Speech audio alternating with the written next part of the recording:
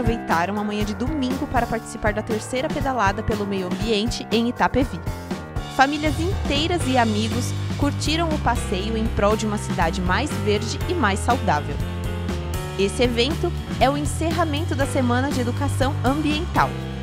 Foram diversas ações para conscientizar a população itapeviense, como palestras, oficinas, plantios de árvores e feira de animais. Como você nunca viu.